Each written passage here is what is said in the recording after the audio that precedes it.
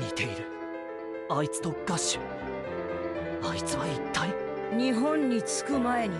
お前とのケリをつけておくか。2000年代に「週刊少年サンデー」で連載された漫画が原作で現在も人気があるのですがゲーム化は結構しているのにもかかわらず名作と言えるのが見当たらない気がする作品。そして今回スマートフォンでゲーム化されてプレイした感想は完全に名作だということです。悩んだ部分はクソゲーかバカゲーかという点のみそれほどのインパクトを残しています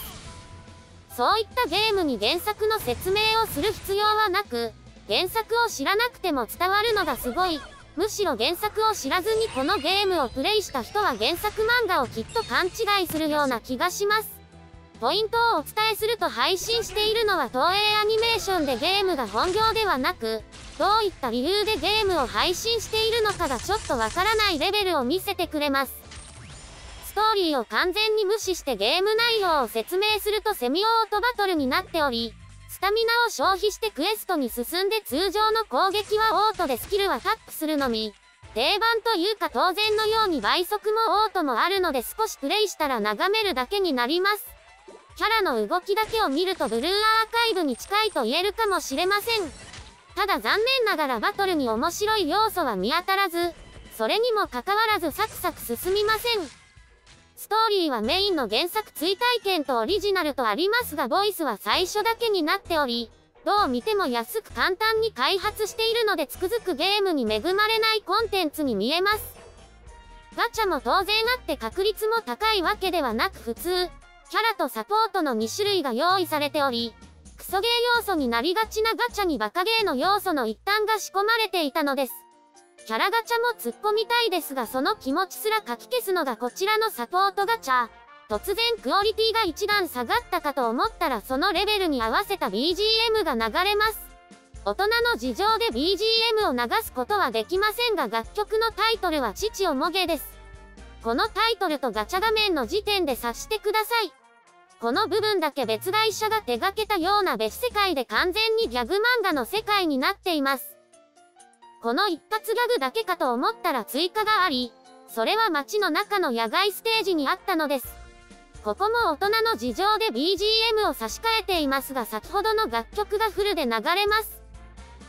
少しでもどういった曲かお伝えするために歌詞を一部表示するとこのようになっており、こんな曲がフルで流れるのを知ってしまうと力の入れるポイントが違う方向だとわかります。ゲーム自体は面白くないと言っても差し支えないと思わざるを得ないレベルなのですが、このネタ一本でクソゲーからバカゲーという評価に変えてしまうパワーを秘めています。気持ちが沈んだ時に頭を空っぽにして無理やり笑顔を作るのに役立ててください。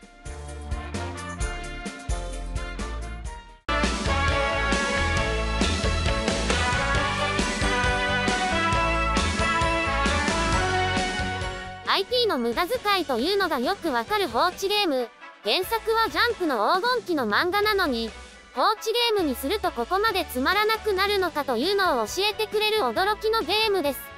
当然のようにストアの評価も低くレビューもひどくて運営の返答もテンプレの30区になっています。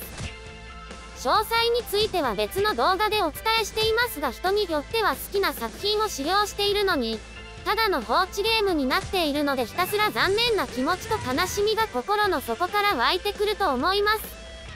なんといってもキャッチコピーが驚くレベルで初の盾持ち放置型 RPG に魅力を感じるのか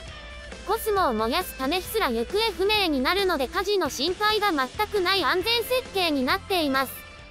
戦闘して原作追体験のストーリーを雑に進んで育成して装備してガチャを引いての繰り返し、いくつかのコンテンツがあると言っても面白さを放置しているだけにコスモが燃えません。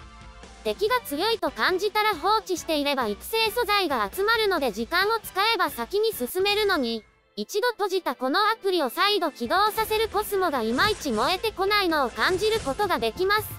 原作漫画をリアルタイムで楽しんでいた世代はもしかしたらこのくらいが面白いのだろうか？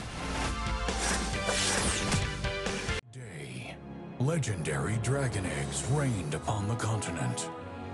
In a prophetic twist of fate, An egg. プッシュ通知まで同意しないと始められないゲームでジャンルはシミュレーション系になっており施設を建設してアップグレードして畑を作り敵と戦うというよくあるパターンになってますドラゴンを育てるという部分もあるのですがそこだけ別のゲームみたいにパズルなので最初は多少混乱するのとパズルの遊び方に関しては何も説明がされないシステムになっています。オーソドックスなマッチ3パズルなので経験者であればなんとなくわかりますがこのパズルを知っているとオーソドックスすぎてここに面白さを感じないと思います。ストーリーはものすごく軽くあるだけなので簡単に解釈すれば付近のアンデッドを倒す。これが目的になるので分かりやすい代わりに奥の深さはおそらく感じないゲームになっています。強くなるにはガチャを引いたり課金して施設を作って兵力を育てる内容になります。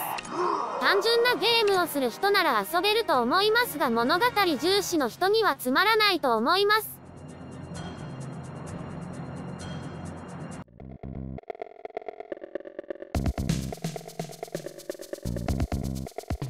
圧倒的に綺麗な 3D グラフィックの女性向け恋愛シミュレーションゲームで容量も納得の大きさです。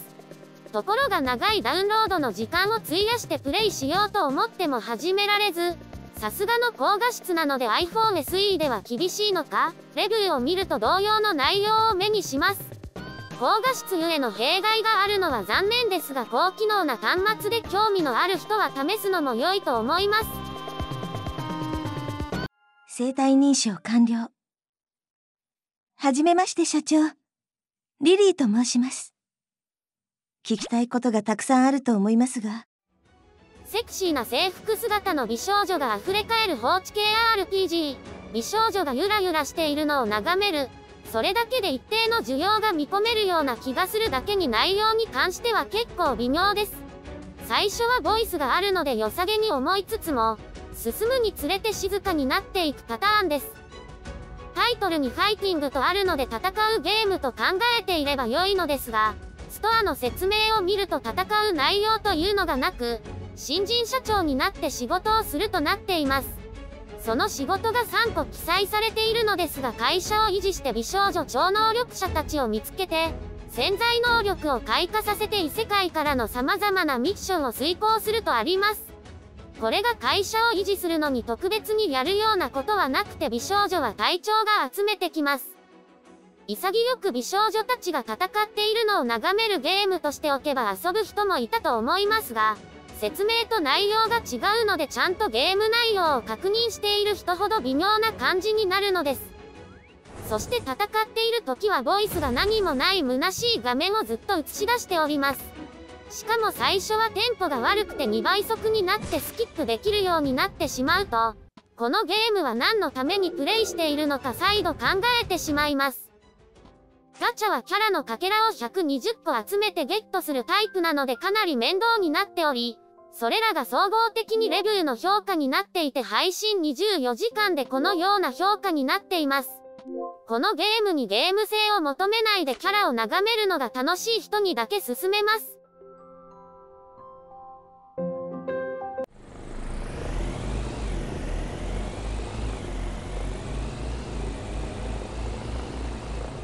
2020年に登場した伝説のクソゲーであるファイナルソードの遺伝子を受け継いだゲーム。いろいろと理解できない部分が多すぎるのでクソゲーとして楽しまないと危険です。ストーリーすらよくわからないのに挙動はもっとわからない動きを見せつけるので、現在わかるところは間違いなくクソゲーとして楽しむべき作品だろうと納得してしまいます。そのわからない内容については別の動画でお伝えしていますので参考にしていただければ幸いです。ヘリを追いかけるだけのプロローグらしき内容なので難易度は高くてもボリュームは薄く、公式 SNS も続きを示唆しているのでアップデートはされると思いますがヘリに追いつけない人は多く、始まる前からすでに脱落者がたくさん出ているという狂気のクソゲーがいつか登場するのです。いつ来るかわからない運命の日のために我々ができることは何度もプレイして心を鍛えるのみです。